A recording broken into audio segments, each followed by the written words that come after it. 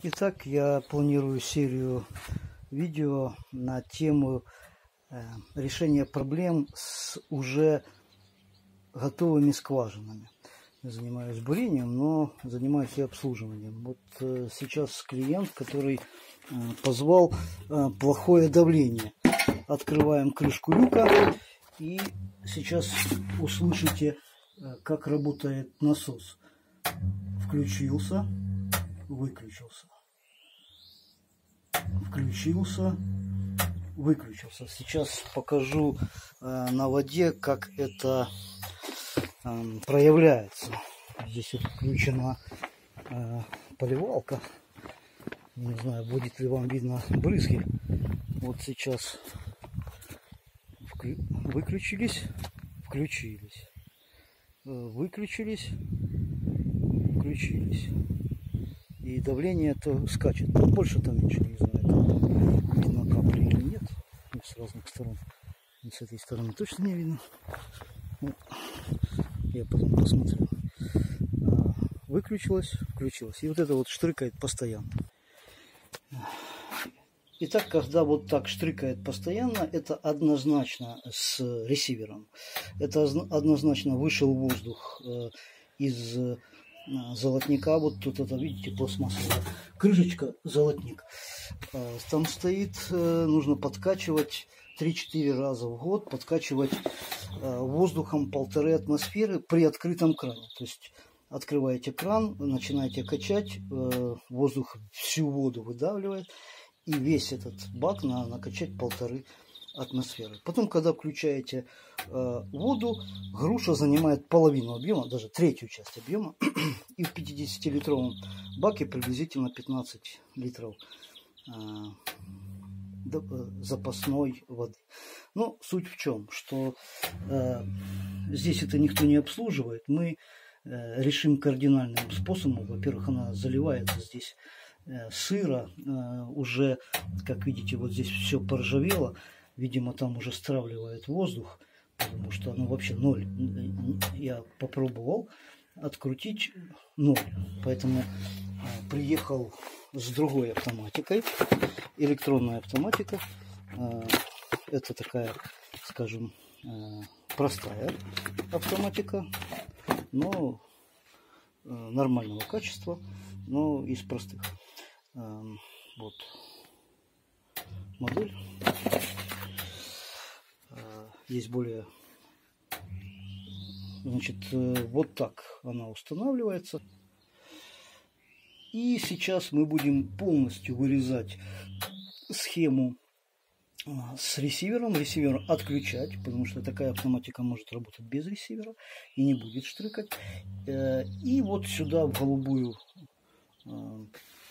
трубу будем вставлять вот таким образом автоматику. Просто а, вырежем, ставим автоматику, подключим ее и будет работать без ресивера.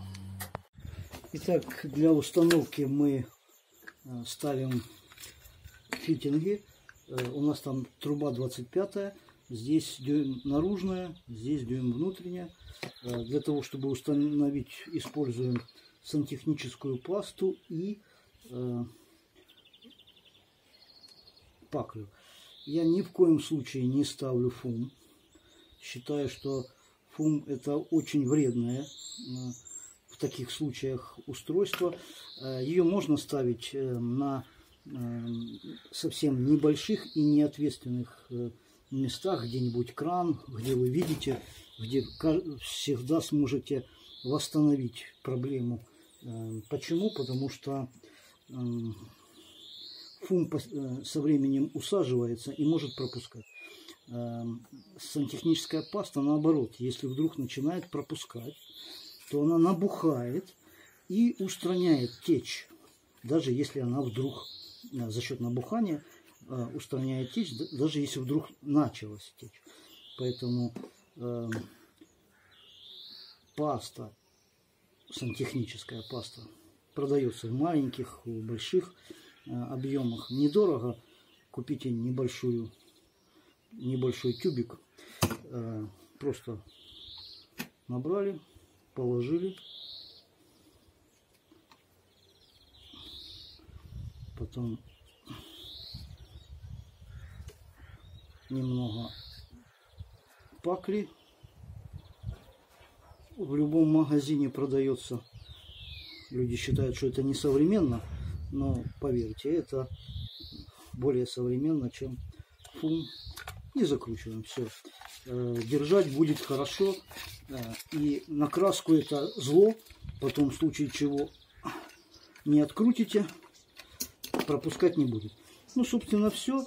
Теперь что необходимо сделать? Э, открыть крышку, завести провода и подсоединить. И не перепутать, куда питание 220, куда мотор, там все подписано. Поэтому думаю, что здесь проблем не возникнет.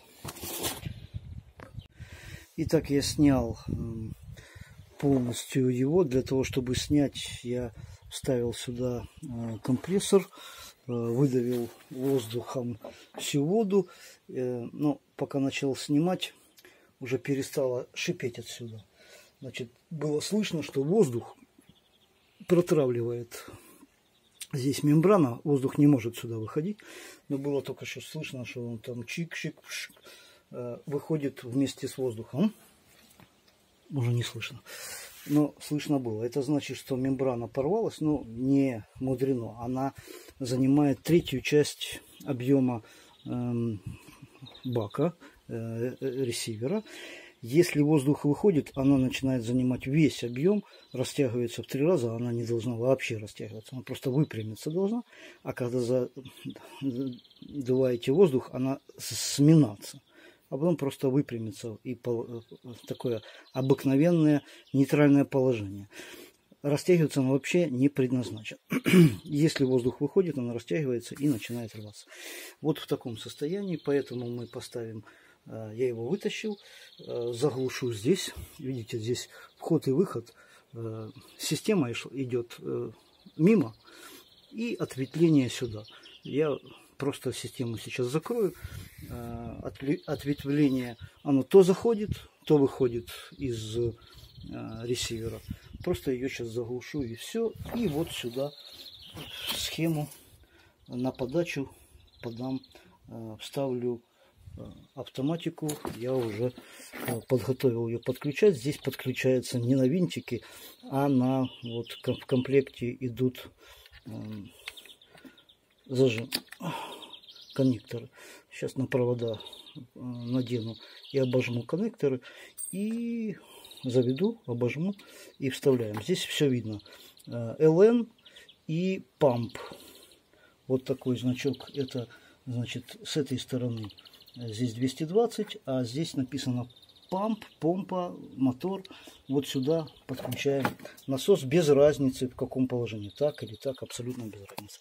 Ну, сейчас буду этим заниматься. Итак, у меня есть задача поставить, э, не теряем резинку. Эм, мы ставим вот так.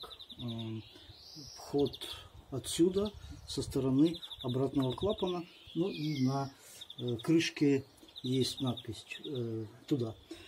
С этой стороны у нас 220, с этой стороны у нас эм, электродвигатель. Значит, э, поэтому э, берем сначала вот электродвигатель, вставили фишку, вставили резинку с, плас, э, с пластмасской, вставляем сюда и затягиваем. Затягивается герметично, поэтому по сути дела он герметичный. Немножко больше провода послабил засунул, закрутил гайку, все, э, держится герметично. Теперь нужно поставить э, контакт. Как его ставить? Здесь у нас есть еще такие резинки, э, их тут в принципе две, ну, на каждую я поставлю, на одну поставлю, на одну нет, поэтому смотрите, вы сами решаете, как вам ставить. Подставляем и зажимаем. Э, у меня есть стрипер, э, который зажимает контакты. Э, вот такой.